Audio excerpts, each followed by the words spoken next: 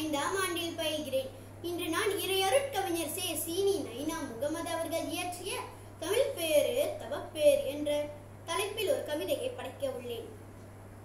தமிழ் பேரு தவப்பேரு தாய்மொழி என்பது தாயின் மொழி அது தாயும் நீயும் பேசும் மொழி ஆயிரம் மொழிகள் நீ அறிந்தாலும் ஆன்மா உணர்மொழி அந்த மொழி அது அன்னையின் கருவில் வந்த மொழி ஆயிரம் மொழிகள் நீ அறிந்தாலும் ஆன்மா உணர்மொழி அந்த மொழி அது அன்னையின் கருவில் வந்த மொழி. அன்னையின் மடியில் கிடக்கையிலே அவள் அன்பினை பாடாய் குடிக்கையிலே.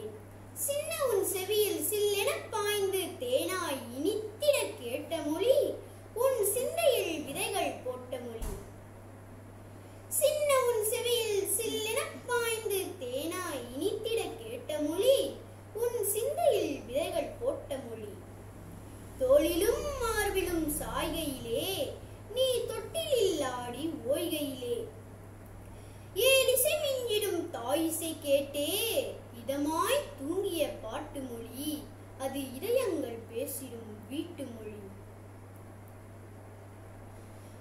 அன்னையை அழைத்தே அழுகையிலே அவள் அணைத்ததும் உடன் நீ சிரிக்கையிலே. தன் நிலை மறந்து தாய்மனம் பொங்கி தவிப்புடன் உன்னை கொஞ்சும் மொழி அது தரணி எதையும் மிஞ்சும் மொழி தன் நிலை மறந்து தாய்மனம் பொங்கி தவிப்புடன் உன்னை கொஞ்சும் மொழி அது எதையும் மிஞ்சும் மொழி. தொண்டைகள் அறியா பருவத்திலே நீ துரு துரு தாடிய உருவத்திலே பல்லுமில்லாமல் சொல்லுமில்லாமல் பழகதை சொல்லிய மயக்கும் மொழி நீ பயலுமுன் பேசிய இயற்கை மொழி பல்லுமில்லாமல் சொல்லுமில்லாமல் பழகதை சொல்லிய மயக்கும் மொழி நீ பயலுமுன் பேசிய இயற்கை மொழி உன்னுடன் இணைந்தே மொழி உன் உள்ளமும் உணர்வும் புரிந்த மொழி.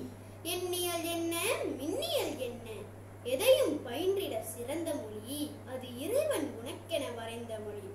எண்ணியல் என்ன மின்னியல் என்ன? எதையும் பயின்றிட சிறந்த மொழி அது இறைவன் உனக்கென